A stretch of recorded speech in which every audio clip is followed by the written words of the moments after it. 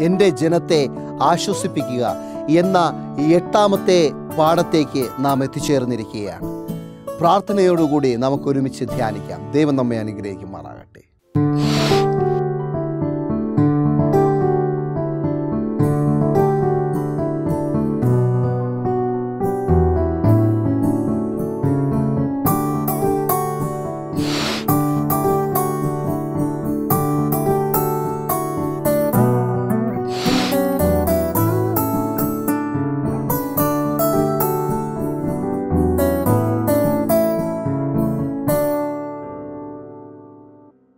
പ്രാർത്ഥിക്കാം. സ്വർഗീയ നല്ല പിതാവേ ദൈവമേ നമ്മുടെ ആശ്വാസവും നമ്മുടെ പ്രത്യാശയും നമ്മുടെ വിശ്വാസവും എല്ലാം കർത്താവായ യേശു ക്രിസ്തു തന്നെയാകുന്നു പിതാവേ. ആ കർത്താവായ യേശു ക്രിസ്തുവിനെ നമ്മുടെ ജീവിതത്തിൽ സ്വന്ത രക്ഷിതാവായി സ്വീകരിക്കുവാനും കർത്താവായ യേശു ക്രിസ്തുവിന്റെ കരം പിടിച്ച് വിശ്വാസത്താൽ നടക്കുവാനുള്ള പ്രബോധനം ഇന്ന് പരിശുദ്ധാത്മ നിറവോടുകൂടി അടിയങ്ങൾക്ക് പകരണമേ. എല്ലാം യേശു ക്രിസ്തുവിൻ നാമത്തിൽ തന്നെ. ആമേൻ. എട്ടാമത്തെ പാഠവും എട്ടാമത്തെ പാഠവും അതേപോലെ തന്നെ നാം ഈ ക്വാർട്ടറിൽ പഠിക്കുന്ന ആശയവും ഒന്ന് തന്നെയാണ്. എന്റെ ജനത്തെ ആശ്വസിപ്പിക്കുക. കർത്താവായ യേശു ക്രിസ്തു അല്ലാതെ ഒരാശ്വാസവും നമുക്ക് ഇല്ല എന്ന് പുതിയ നിയമത്തിലൂടെ നാം പഠിച്ചുകൊണ്ട് ഇരുന്നു. എന്നാൽ അത് പ്രവചനമായി പഴയ നിയമത്തിൽ നമുക്ക് നൽകിയിരിക്കുകയാണ്. അത് നാം ഇന്ന് കാണുവാൻ പോവുകയാണ്. നമുക്ക് ലഭിച്ചിരിക്കുന്ന മനപ്പാഠവാക്യം യഷ്യാവിന്റെ പ്രവചനം നാൽപ്പതാം അധ്യായം അതിന്റെ ഒൻപതാമത്തെ വാക്യം. സുവാർത്ത ദൂതിയായ സിയോനെ നീ ഉയർന്ന പർവതത്തിലേക്ക് കയറി ചെല്ലുക സുവാർത്ത ദൂതിയായ എരിശലേമേ നിന്റെ ശബ്ദം ശക്തിയോടെ ഉയർത്തുക. ഭയപ്പെടാതെ ഉയർത്തുക. യഹൂദ നഗരങ്ങളോട് ഇതാ നിങ്ങളുടെ ദൈവം എന്ന് പറയുക. എന്റെ ജനത്തെ ആശ്വസിപ്പിക്കുക എന്ന് പറയുമ്പോൾ ആ ആശ്വാസദായകനെ കർത്താവായ യേശു ക്രിസ്തുവിനെ ഈ ഭൂമിയിൽ സുവിശേഷീകരിക്കുവാനുള്ള ഒരു ആഹ്വാനം ഇവിടെ നൽകുകയാണ്. കർത്താവായ യേശു ക്രിസ്തുവിനെ സുവിശേഷീകരിച്ചതിന്റെ ഭാഗമായി എല്ലാ അപ്പോസ്തലന്മാരെയും യേശു ക്രിസ്തുവിന്റെ കൂടെ നടന്ന ശിഷ്യന്മാർ അവർക്ക് എന്ത് സംഭവിച്ചു എന്ന് നമുക്ക് കാണുവാൻ സാധിക്കും. അവിടെ വെളിപ്പാടുകാരനായ യോഹന്നാൻ മാത്രം വയസ്സ് ചെന്ന് മരിച്ചു എന്ന് കാണുവാൻ സാധിക്കും എന്നിരുന്നാലും പീഡനങ്ങൾ അനുഭവിക്കേണ്ടി വരും. അതിൽ നിന്നെല്ലാം ദൈവം രക്ഷപ്പെടുത്തി. അതിനൊരു കാരണമുണ്ടായിരുന്നു ദൈവത്തിന്റെ വചനം. വെളിപ്പാട് പുസ്തകം അദ്ദേഹത്തിലൂടെ നമുക്ക് എത്തിക്കുവാൻ വേണ്ടിയാണ്. അപ്പോൾ മറ്റുള്ളവരെല്ലാം നേരത്തെ ദൈവം കൊന്നുകളഞ്ഞു. അങ്ങനെയല്ല. ദൈവത്തിന്റെ വചനം പറയുന്നു മുൻപേ പോയവർ ഭാഗ്യവാന്മാർ. ദൈവത്തെ കർത്താവായ യേശു ക്രിസ്തുവിനെ ആ ആശ്വാസ വചനത്തെ സുവിശേഷീകരിച്ച എല്ലാ അപ്പോസ്റ്റലന്മാർക്കുമുള്ള അവസ്ഥ എന്താണെന്ന് മനസ്സിലാക്കുന്നു. ആ ഒരു അവസ്ഥ ഇന്ന് നമുക്ക് വന്നിട്ടില്ല. എന്നാൽ കൂടിയ ശീക്രം വരുവാൻ പോകുന്നു. എന്തുകൊണ്ടെന്നാൽ നിത്യമായിട്ടുള്ള ആശ്വാസത്തിന്റെ ഒരു രാജ്യം ഈ ഭൂമിയിൽ സ്ഥാപിക്കുവാൻ പോകുന്നു. അപ്പോൾ ഈ ഭൂമിയെ തെറ്റായ രീതിയിലൂടെ തന്ത്രത്തിലൂടെ മനുഷ്യനെ അടിമയാക്കി വെച്ചുകൊണ്ടിരിക്കുന്ന പിശാചിൻ പിഷാജിന്റെ നേതൃത്വത്തിലായിരിക്കുന്ന നേതൃത്വങ്ങളും നമുക്കെതിരെ വന്ന് വരും. അന്ന് അപ്പോസ്തലന്മാർക്കുണ്ടായിരുന്നതിനേക്കാളുമുള്ള പ്രശ്നങ്ങളും പ്രയാസങ്ങളും നമുക്ക് വരും. എന്നാൽ അപ്പോസ്തലന്മാർ മരണം വരെയും മുറുകെ പിടിച്ചു ജീവന്റെ കിരീടം നേടിയതുപോലെ നമുക്കും അപ്രകാരം മരണ മരണം വരെയും മുറുകെ പിടിച്ചു ജീവന്റെ കിരീടം നേടുവാനുള്ള ആശ്വാസവും ശക്തീകരിക്കുന്ന വചനവും ദൈവം നൽകട്ടെ എന്ന് പ്രാർത്ഥിക്കാം. അതിൻ പ്രകാരം ജീവിക്കാം. നമുക്ക് താഴോട്ട് വായിക്കാം. ഇവിടെ ഞായറാഴ്ചത്തെ ഭാഗത്തിൽ ഭാവിയിലേക്കുള്ള ആശ്വാസം. എന്താണ് ഭാവിയിലേക്കുള്ള ആശ്വാസം? യഷ്യാവിന്റെ പ്രവചനം നാൽപ്പതാം അധ്യായം അതിന്റെ ഒന്നും രണ്ടും വാക്യങ്ങൾ. എന്റെ ജനത്തെ ആശ്വസിപ്പിക്കുവിൻ ആശ്വസിപ്പിക്കുവിൻ എന്ന് നിങ്ങളുടെ ദൈവം അരുളി ചെയ്യുന്നു എരുഷലേമിനോട് ആദരവ് ആദരവരോടെ സംസാരിച്ചു. അവളുടെ യുദ്ധസേവ കഴിഞ്ഞിട്ടും അവളുടെ അകൃത്യം മോചിക്കപ്പെട്ടും അവൾ തന്റെ സകല പാപങ്ങൾക്കും പകരം യഹോവയുടെ കയ്യിൽ നിന്നും ഇരട്ടിയായി പ്രാപിച്ചുമിരിക്കുന്നു എന്ന് അവളോട് വിളിച്ചു പറയുവിൻ. ഇരട്ടിയായി എന്ന് പറയുമ്പോൾ അതിന്റെ ശാപമല്ല അനുഗ്രഹവും അതുപോലെ തന്നെ പണിഷ്മെന്റ് അല്ലെങ്കിൽ അവർക്ക് നൽകേണ്ട ശിക്ഷ നൽകിയെങ്കിലും അതിന്റെ അനുഗ്രഹം ഇരട്ടിയായി പ്രാപിച്ചിരിക്കുന്നു എന്ന് പറഞ്ഞു പറയുകയാണ്. ആ ഒരു ആശ്വാസമാണ് ഇവിടെ ആശ്വാസ വചനമാണ് ഇവിടെ ഭാവിയിലേക്ക് വേണ്ടി ദൈവം എരിശലേം നിവാസികൾക്ക് അല്ലെങ്കിൽ ദൈവം തിരഞ്ഞെടുത്ത ദൈവത്തിന്റെ ജനത്തിന് യഷ്യാ പ്രവാചകൻ മുഖാന്തരം നൽകിയത്. അതൊരു പ്രവചനമായിരുന്നു. അവരെ പൂർണമായിട്ടും എരിശലേം നിവാസികൾ പൂർണമായിട്ടും അടിമത്തത്തിലേക്ക് പോകും. അത് നിശ്ചയമാണ്. കാരണം അവർ ദൈവത്തെ മറന്നതുകൊണ്ട്. എന്നിരുന്നാലും ദൈവത്തിന്റെ കരുണ അവരുടെ മേൽ എപ്പോഴും ഉണ്ടായിരിക്കും എന്ന് ദൈവം അവിടെ പറയുന്നു. ആ കരുണ മനസ്സിലാക്കി പിൻതലമുറക്കാൽ അടിമത്തത്തിൽ നിന്നും ദൈവത്തോട് അയ്യം വിളിക്കുമ്പോൾ ദൈവത്തോട് കരഞ്ഞ് പ്രാർത്ഥിക്കുമ്പോൾ തീർച്ചയായിട്ടും ദൈവത്തിന്റെ കരുണ അവരുടെ മേൽ വരികയും അവർക്ക് നല്ലൊരു ജീവിതം ഉണ്ടാകും എന്ന് ഭാവിയെക്കുറിച്ചുള്ള ഒരു ആശ്വാസം അവിടെ നൽകുകയാണ്. ഇന്ന് നമ്മളുടെ ഭൂമിയിൽ നമ്മൾ നോക്കുകയാണെങ്കിൽ നമ്മൾ ഈ ലോകത്തിന്റെ ചിന്തയിലൂടെ നമ്മൾ നോക്കുകയാണെങ്കിൽ ഇന്ന് നല്ല ഒരു ലോകമാണ് നമുക്ക് നൽകിയിരിക്കുന്നത്. കൊറോണ വൈറസ് വന്നാലെന്ത് വീട്ടിലിരുന്ന് ജോലി ചെയ്യാം പുറത്ത് പോകണ്ട പത്താൾ കൂടേണ്ട ആവശ്യമില്ല. കല്യാണത്തിനും എല്ലാം പോയി അപ്പോഴപ്പോഴായിട്ട് ഗിഫ്റ്റ് വാങ്ങി കൊടുക്കേണ്ട പൈസയും കൊടുക്കേണ്ട. ഒന്നും തന്നെ വേണ്ട. അല്ല വിവാഹം കഴിച്ചിരുന്നാലും വലിയ ചിലവില്ല. വിവാഹം കഴിക്കുന്ന ചിലവ് എന്ന് പറയുന്നത് ഭയങ്കരമായ ചിലവാണ്. അതായത് എന്റെ ഒരു സാക്ഷ്യം പോലെ പറയുകയാണെങ്കിൽ എന്റെ വിവാഹം കഴിഞ്ഞപ്പോൾ പലപ്പോഴും കല്യാണം വിവാഹം കഴിച്ച് തന്നതിന് ശേഷം എന്റെ ഭാര്യയുടെ ഭവനത്തിൽ അതിന്റെ കടം ചിലപ്പോൾ ഇപ്പോഴും അവർ വീട്ടിൽ വീട്ടിക്കൊണ്ടിരിക്കുകയാണ്. എന്റെ അടുത്ത് പറഞ്ഞിട്ടില്ല. എന്നിരുന്നാലും നമുക്കത് മനസ്സിലാക്കുവാൻ സാധിക്കും. ഒരു വിവാഹം കഴിക്കുന്നതിന്റെ ചിലവ് ഭയങ്കരമാണ്. എന്നാൽ ഇപ്പോൾ കൊറോണയുടെ കാലത്ത് നോക്കുകയാണെങ്കിൽ വിവാഹമെല്ലാം കുറച്ച് പൈസ കൊണ്ട് നമുക്ക് ചെയ്യുവാൻ സാധിക്കും. അതായത് ഞാൻ പറഞ്ഞു വരുന്നത് നമ്മളിപ്പോൾ നല്ല രീതിയിലായിരിക്കുന്നു എന്നല്ല. ഈ ലോകം ഈ ലോകത്തിന്റെ ആ ഒരു അന്ത്യത്തോട് അടുക്കുമ്പോൾ ലോകമാണ് ഏറ്റവും വലുത് എന്ന് മനുഷ്യർക്ക് തോന്നിപ്പിക്കുവാനുള്ള ചിട്ടവട്ടങ്ങൾ ആധുനിക രീതികൾ ലോകത്തിലുണ്ടായിരിക്കും. സ്വർഗതുല്യമെന്ന് കപടമായിട്ട് ഇവിടെ നമ്മളെ നമ്മളെ ലോകത്തിന്റെ ഓരോ രീതിയും കാണിക്കും. ഞാൻ പറഞ്ഞ വാക്ക് നിങ്ങൾ ശ്രദ്ധിക്കുക. നമ്മളുടെ മുൻപിൽ കാണിക്കും. ഈ ഭൂമി സ്വർഗ തുല്യമാണെന്ന്. എന്നാൽ അത് അനുഭവിക്കുവാൻ നമുക്ക് പറ്റത്തില്ല. കാരണം ഈ ഭൂമിയിലുള്ള ഭൂമിയെ ഇപ്പോൾ ഭരിച്ചുകൊണ്ടിരിക്കുന്ന നേതാക്കന്മാരെ ഭരിച്ചുകൊണ്ടിരിക്കുന്ന നിയന്ത്രിച്ചുകൊണ്ടിരിക്കുന്ന പിശാജ് മനുഷ്യനെ എപ്പോഴും അടിമത്തത്തിലാക്കുവാൻ തന്നെയാണ് പോകുന്നത്. നാം ഏത് സാങ്കേതിക വിദ്യയിൽ ഏത് ഉന്നതിയിലായിരുന്നാലും ഈ ലോകത്തിലുള്ള ഏത് സുഖത്തിലായിരുന്നാലും സുഖലോല ജീവിതത്തിലായിരുന്നാലും അതിന് ഒരു തെറ്റായ വശങ്ങളും ഉണ്ടായിരിക്കും. അതിനൊരു മറുഭാഗമുണ്ടായിരിക്കും പ്രത്യാഘാതമുണ്ടായിരിക്കും എന്നാൽ ദൈവം നമുക്ക് നൽകുവാൻ പോകുന്ന പുതിയ എരിശലേം അതിന് ഒരു തിന്മയും കാണില്ല. നന്മയുടെ വൃക്ഷം മാത്രമേ കാണത്തുള്ളൂ. അവിടെ ജീവന്റെ വൃക്ഷം മാത്രമേ കാണത്തുള്ളൂ. നന്മയും തിന്മയും അറിഞ്ഞ വൃക്ഷമല്ല ജീവന്റെ വൃക്ഷം മാത്രമേ അവിടെ കാണത്തുള്ളൂ. അവിടെ ദുഃഖമുണ്ടാകുകയില്ല മുറവിളി ഉണ്ടാകുകയില്ല കണ്ണുനീരുണ്ടാകുകയില്ല ഒന്നും തന്നെ ഉണ്ടാകുകയില്ല അവിടെ നമുക്ക് നമ്മളെ വേദനിപ്പിക്കുന്ന ഒരു മുള്ളു പോലും ഉണ്ടാകുകയില്ല അവിടെ നമ്മൾ വളരെ അധികം സന്തോഷത്തോടും നമ്മൾ വളരെയധികം ആനന്ദത്തോടും കൂടി കണ്ണീരില്ലാതെ ദുഃഖമില്ലാതെ മരണമില്ലാതെ നിത്യമായി ജീവിക്കും. ആ ആശ്വാസത്തിന്റെ ഭാവി ആ ഭാവിയിലെ ആശ്വാസം നാം മനസ്സിലാക്കണം.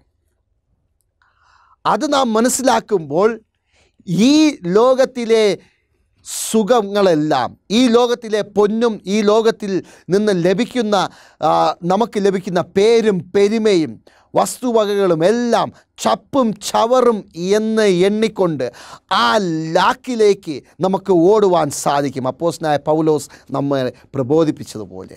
ആ ഭാവിയിലേക്കുള്ള ആശ്വാസം അന്ന് യഷ്യാവിന്റെ യഷ്യാവ് പ്രവാചകൻ മുഖാന്തരം നൽകി. ആ ശ്വാസമെല്ലാം വായിച്ചു പഠിച്ചാണ് ദാനിയേലും ശദ്രക് മേശക് അബേദ്നഹോ എന്ന ആ വ്യക്തികൾ ജീവിച്ചത്. അതിനെ കർത്തവായ ദൈവത്തെ മുറുകെ പിടിച്ചപ്പോൾ അതിലും ആശ്വാസകരമായിട്ടുള്ള വചനം ദാനിയേൽ പ്രവാ പ്രവചനം ദൈവം അവിടെ നൽകിയെന്ന് നമുക്ക് കാണുവാൻ സാധിക്കും. അന്ത്യനാളിൽ ദൈവത്തിന്റെ ആത്മാവ് അധികമായി വർദ്ധിക്കും. പിന്മഴയുടെ അനുഭവം ഉണ്ടായിരിക്കും. അന്ന് ഇതുവരെ മനസ്സിലാക്കാത്ത രീതിയിൽ ദൈവത്തിന്റെ വചനത്തിൽ നിന്നും ആശ്വാസം യൗവനക്കാർ കണ്ടെത്തും. യൗവനക്കാർ അവർ പ്രവചനങ്ങൾ കാണും. പ്രവചനങ്ങൾ അവർ ലളിതം ലഘുവായിട്ട് ജനങ്ങളുടെ ഇടയിൽ വിവരിച്ച് പറയും. സ്വപ്നങ്ങൾ കാണും എന്നതിനെക്കുറിച്ച് ഇവിടെ പറയുന്നു. നല്ല ഭാവിയെക്കുറിച്ചുള്ള സ്വപ്നം ഈ ലോകത്തിൽ ജീവിക്കുവാനല്ല. അങ്ങനെയുള്ളൊരു നല്ല ഭാവി നമുക്ക് വേണ്ടി കാത്തിരിക്കുന്നു എന്ന് ആദ്യം ഞാൻ മനസ്സിലാക്കുക. അങ്ങനെ മനസ്സിലാക്കുമ്പോൾ ആ ഭാവിയിലേക്ക് പോകുവാൻ തടസ്സമായി നിൽക്കുന്ന ലോകത്തിന്റെ ചിന്ത എന്നിൽ നിന്നും മാറ്റുക. അങ്ങനെ ലോകത്തിന്റെ ചിന്ത എന്നിൽ നിന്നും മാറ്റി ദൈവത്തിന്റെ വചനപ്രകാരം ജീവിക്കുവാനുള്ള ശക്തിക്ക് വേണ്ടി കർത്താവായ യേശു ക്രിസ്തുവിനോട് പ്രാർത്ഥിച്ച് യേശുക്രിസ്തു നമുക്ക് വാഗ്ദത്ത പ്രകാരം നൽകിയ കാര്യസ്ഥന്റെ അധികമായിട്ടുള്ള ആത്മീക വർധന ഉണ്ടായിരിക്കും അതാണ് പറയുന്നത് ആത്മാവിൽ ദരിദ്രായവർ ഭാഗ്യവാന്മാർ. ആ ഒരു ഭാഗ്യവാനാകുവാൻ ഞാൻ ഇന്ന് ആദ്യം തുനിയണം. എന്നിട്ട് ആ ആശ്വാസവചനം ലോകത്തിലെത്തിക്കണം. അതാണ് യഥാർത്ഥ ഒരേ സുവിശേഷീകരണം എന്ന് പറയുന്നത്. അതാണ് ഭാവിയിലേക്കുള്ള യഥാർത്ഥ ആശ്വാസത്തെക്കുറിച്ചുള്ള നല്ല വാർത്ത ദൈവത്തിന്റെ ജനത്തിന് എത്തിക്കുന്നു എന്ന് പറയുന്നത്. അപ്രകാരമായിരിക്കുവാൻ ദൈവം നമ്മളെ സഹായിക്കട്ടെ എന്ന പ്രാർത്ഥനയോടെ ഞാൻ എന്റെ വാക്കുകളെ ചുരുക്കുകയാണ്. നമുക്ക് അടുത്ത ഭാഗത്തേക്ക് നമുക്ക് കടക്കാം.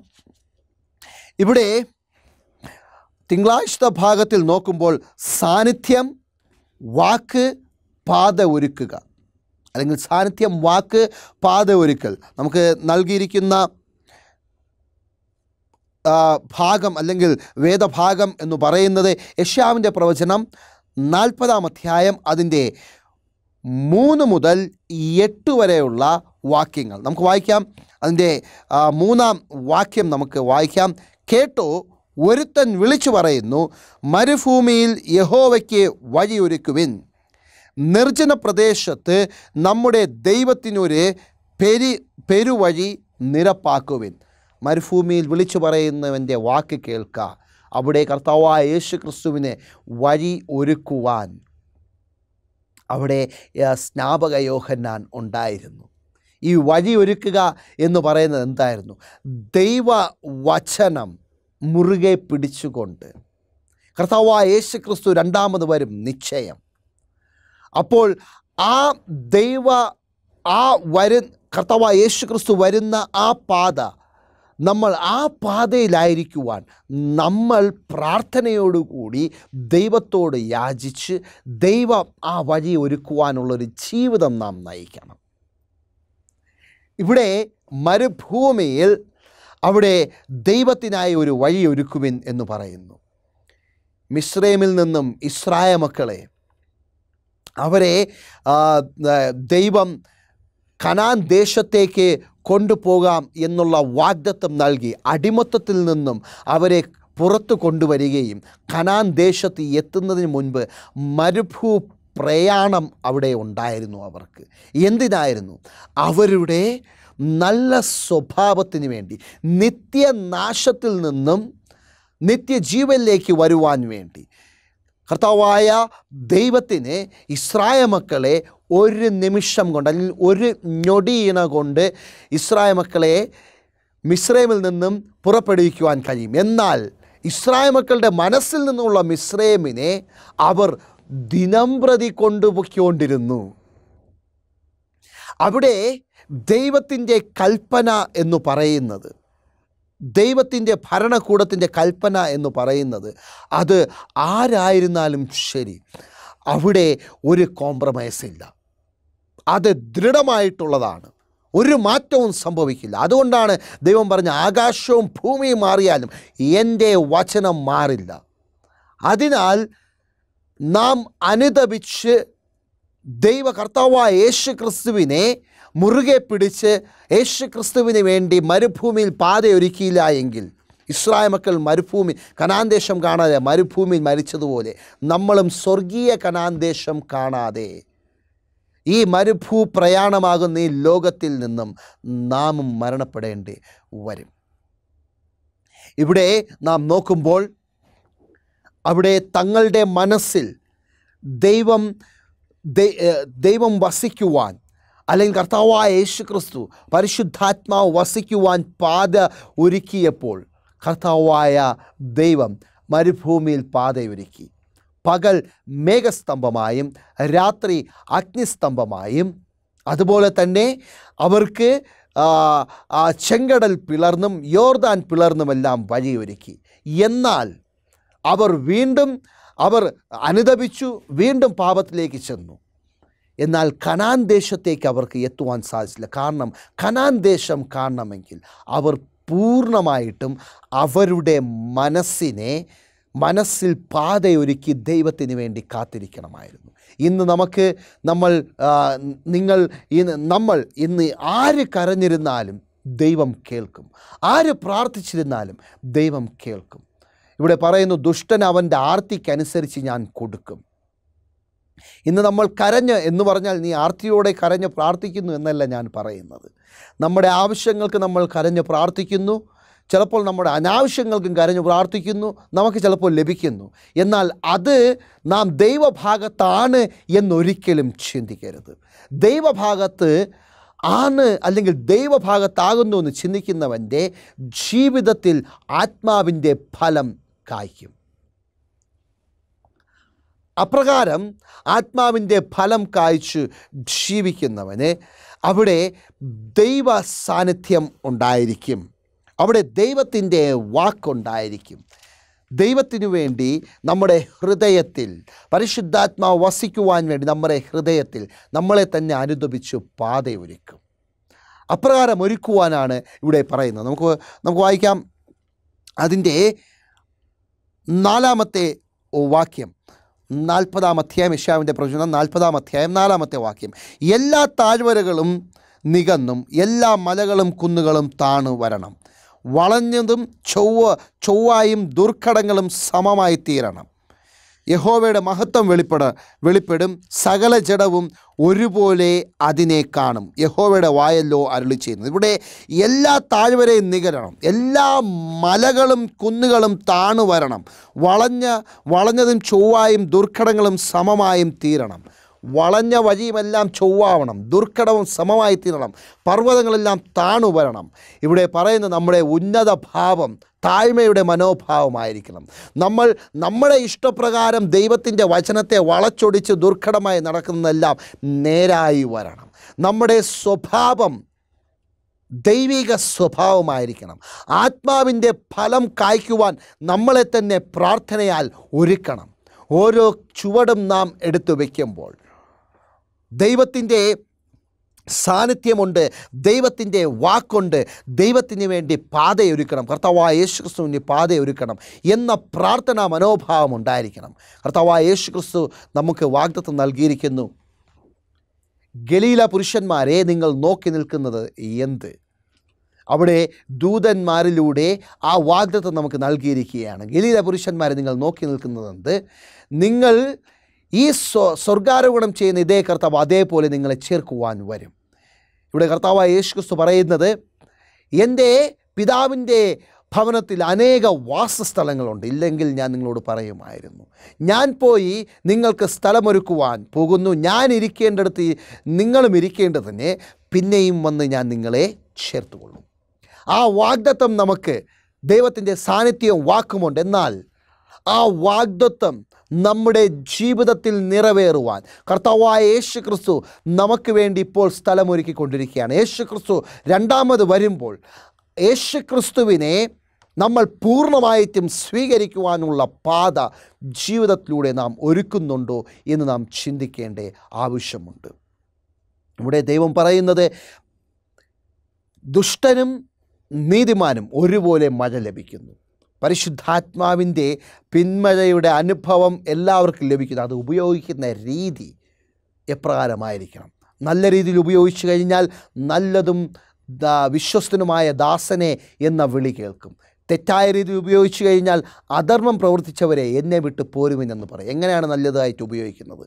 പരിശുദ്ധാത്മാവ് നമുക്ക് വരണമെന്ന് ആഗ്രഹിക്കുന്നവർ പ്രാർത്ഥനയോടുകൂടി ദൈവ ദൈവത്തിന്റെ ദൈവ അനുഗ്രഹം ലഭിക്കണമെന്ന് ചിന്തിക്കുന്നവർ പാപത്തെക്കുറിച്ചും നീതിയെക്കുറിച്ചും ന്യായവിധിയെക്കുറിച്ചുമുള്ള ബോധമുണ്ടായിരിക്കണം. ബോധവൽക്കരണം നമ്മളിൽ ഉണ്ടായിരിക്കണം.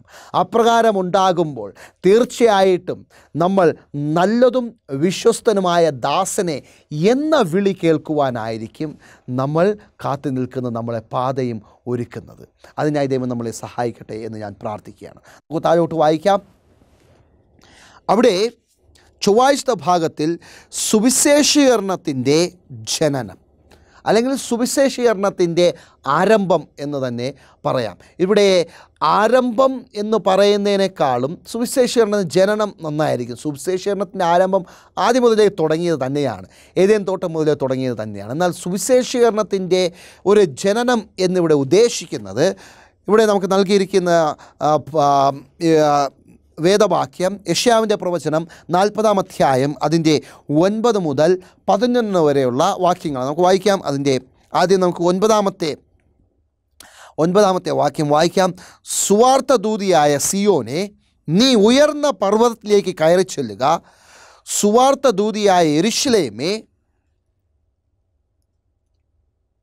എരിശിലേമേ എരുഷലേമിലേക്ക് കയറി ചെല്ലുക. സുവാർത്ത ദൂതിയ എരുഷലേമേ നിന്റെ ശബ്ദം ശക്തിയോടെ ഉയർത്തുക ഭയപ്പെടാതെ ഉയർത്തുക. യഹൂദ നഗരങ്ങളോട് ഇതാ നിങ്ങളുടെ ദൈവം എന്ന് പറയുക.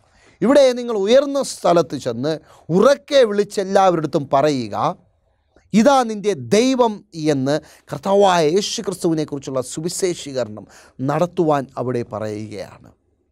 കർത്താവായ യേശുസ് നമ്മോട് പറഞ്ഞു നിങ്ങൾ മലമുകളിലെ തെളിയുന്ന പട്ടണങ്ങൾക്ക് വേണ്ടി മലമുകളിൽ തെളിയുന്ന വെളിച്ചമാണ്. നിങ്ങൾ ജീവന്റെ വെളിച്ചമാണ് എന്നിവിടെ പറയുന്നു പിൽക്കാലത്ത് പറയുന്നു. ഇത് തന്നെയാണ് യഷ്യാവ് പ്രവചനത്തിലൂടെ പ്രവാചകൻ പ്രവാ പ്രവ പ്രവാചകനിലൂടെ ദൈവം നമുക്ക് വാഗ്ദത്വവും അതുപോലെ നമുക്കുള്ള ദൗത്യവും നൽകിയിരിക്കുന്നത്. സുവിശേഷീകരണത്തിന്റെ ജനനം അവിടെ സംഭവിക്കുകയാണ്. എന്താണ് സുവിശേഷീകരണം എന്ന് പറയുന്നത്? നാം ദൈവത്തെ ക്രിസ്തുവിനെ ജനങ്ങളുടെ ഇടയിൽ എത്തിക്കുക. ഇന്ന് എപ്രകാരമാണ് ക്രിസ്തുവിനെ ജനങ്ങളുടെ ഇടയിൽ എത്തിക്കുന്നത്? ഇന്ന് ക്രിസ്തുവിനെ ജനങ്ങളുടെ ഇടയിൽ എത്തിക്കുന്ന പരിശുദ്ധാത്മ നിറവോടുകൂടെ ആയിരിക്കണം.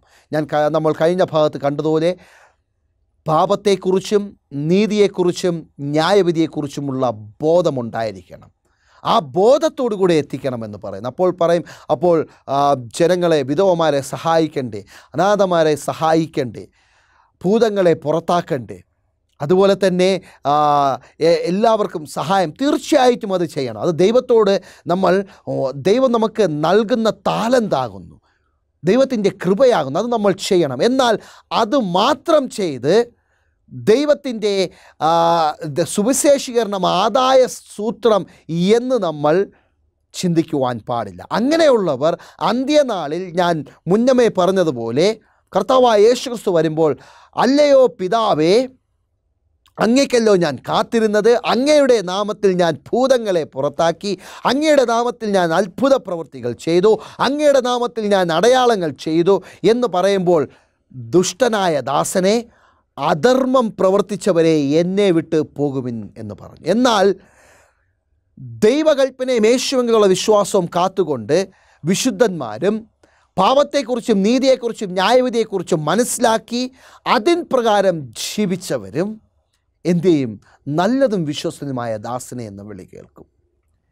എന്നാൽ ദൈവത്തിന്റെ വചനം മുറുകെ പിടിച്ചവരും അല്ലെങ്കിൽ ദൈവത്തിന്റെ നാമം മുറുകെ പിടിച്ച് മറ്റുള്ളവരെ സഹായിക്കാനും കഴിഞ്ഞില്ല. ദൈവകൽപ്പന യേശുവിലുള്ള വിശ്വാസവും കാത്തുകൊള്ളുവാനും സാധിച്ചില്ല. അങ്ങനെയുള്ളവരെയാണ് ദൈവം എന്തു പറയുന്നത്?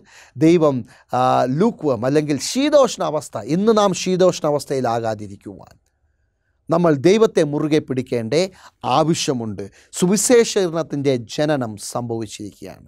അത് നാം ഇന്നും ദൈവത്തെ ഈ ലോകത്തിൽ കർത്താവായ യേശുക്രിസ്തുവിനെ ഈ ലോകത്തിൽ യേശുക്രിസ്തുവിന്റെ വചനത്തെ ഈ ലോകത്തിൽ എത്തിക്കുന്നുണ്ടോ എന്ന് നാം ചിന്തിക്കേണ്ട ആവശ്യമുണ്ട്. നമുക്ക് താഴോട്ട് വായിക്കാം. കൃപാലുവായ സൃഷ്ടാവ് യേശാവിന്റെ പ്രവചനം നാൽപ്പതാം അധ്യായം അതിന്റെ പന്ത്രണ്ട് മുതൽ മുപ്പത്തിയൊന്ന് വരെ വാക്യങ്ങൾ. പന്ത്രണ്ടിൽ വായിക്കുമ്പോൾ അതിൽ വായിക്കുമ്പോൾ കർത്താവായ സൃഷ്ടാവിന്റെ കൃപയെക്കുറിച്ച് നമുക്ക് കാണുവാൻ സാധിക്കും. എത്ര തന്നെ ദൈവം കോപത്തിന്റെ വടിയെക്കുറിച്ച് ഇവിടെ നമ്മോട് സംസാരിച്ചു. ദൈവം നമ്മളെ ദൈവം കോപിച്ചിരുന്നാലും ദൈവത്തിന്റെ കൃപ ഉണ്ടായിരിക്കും. കോപത്തിന്റെ പിന്നിൽ ദൈവത്തിന്റെ കൃപ നിറഞ്ഞിരിക്കും. കൃപ അധികമായിട്ടാണ് കോപം നമ്മളുടെ മേൽ വരുന്നത്. കാരണം നമ്മൾ ശരിയായ രീതിയിൽ നടന്നില്ല എങ്കിൽ അവനെ എങ്ങനെയെങ്കിലും ശിക്ഷിച്ച് ശരിയായ പാതയിലേക്ക് ആക്കണം എന്ന് ഇവിടെ ദൈവം ചിന്തിക്കുന്നു. ഇന്ന് ആ കൃപാലുവായ സൃഷ്ടാവ് ഇന്നും നമുക്ക് വേണ്ടി കാത്തിരിക്കുകയാണ്. മുടിയനായ പുത്രൻ നഷ്ടപ്പെട്ടു പോയ പുത്രനെ പോലെ നാം തിരിച്ചു പോകുവാൻ നാം ഒരുങ്ങുന്നുണ്ടോ എന്ന് ചിന്തിക്കേണ്ട ആവശ്യമുണ്ട്. അവസാന ഭാഗത്തേക്ക് ഞാൻ എല്ലാ പാഠത്തിലും വെള്ളിയാഴ്ച ചർച്ചയുടെ ഭാഗം ഏത് ഭാഗവും വെള്ളിയാഴ്ച ചർച്ചയുടെ ഭാഗം ഞാൻ അത് പറയുന്നില്ല. കാരണം ചർച്ച എന്ന് പറയുന്നത് അത് വീഡിയോയിലൂടെ നമ്മൾ ചർച്ച ചെയ്യേണ്ടതല്ല. അല്ലെങ്കിൽ അപ്രകാരമുള്ള ലൈവായിട്ട് ചർച്ച ചെയ്യണം. അല്ലെങ്കിൽ നമ്മൾ നേരിട്ട് ചർച്ച ചെയ്യണം. ഇത് നിങ്ങൾ ചർച്ച ചെയ്യുക. അതുകൊണ്ട് ചർച്ചയുടെ ഭാഗം ഞാൻ വിടുകയാണ്. മറ്റു ഭാഗങ്ങളാണ് പറയുന്നത്. ഇവിടെ വിഗ്രഹാരാധനയുടെ പ്രശ്നം വ്യാഴാഴ്ച ഭാഗത്തിൽ വിഗ്രഹാരാധനയുടെ പ്രശ്നം. അത് യശ്യാവിന്റെ പ്രവചനം നാൽപ്പതാം അധ്യായം പത്തൊൻപതും ഇരുപതും വാക്യങ്ങൾ. അവിടെ നമ്മൾ നോക്കുമ്പോൾ തങ്ങളുടെ സ്വാർത്ഥത ദൈവം സ്വീകരിക്കണം എന്ന് ചിന്തിക്കുന്നു. ഇതാണ് വിഗ്രഹാരാധന. നമ്മൾ വിഗ്രഹത്തിന്റെ മുമ്പിൽ തന്നെ പോയി ആരാധിക്കുന്നു എന്നത് മാത്രമല്ല.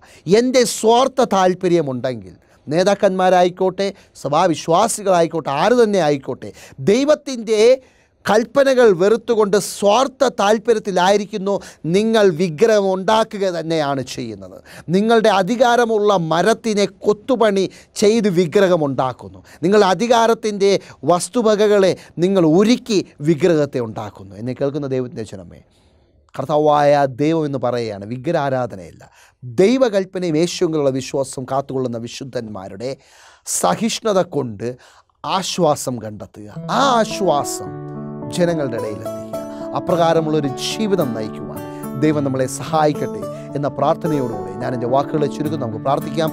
സ്വർഗീയ നല്ല പിതാവേ ദൈവമേ അങ്ങ് അടിയങ്ങളെ അനുഗ്രഹിച്ചതിനാൽ സ്തോത്രം ചെയ്യുന്നു പിതാവേ. അങ്ങയുടെ വചനം അടിയങ്ങൾക്ക് മനസ്സിലാക്കി തന്നു. അതിൻ പ്രകാരം ജീവിക്കുവാനുള്ള ആത്മീയ വർധനവ് അടിയങ്ങൾക്ക് നൽകണമേ. എല്ലാം യേശു ക്രിസ്തുവിൻ നാമത്തിൽ തന്നെ. ആമേൻ.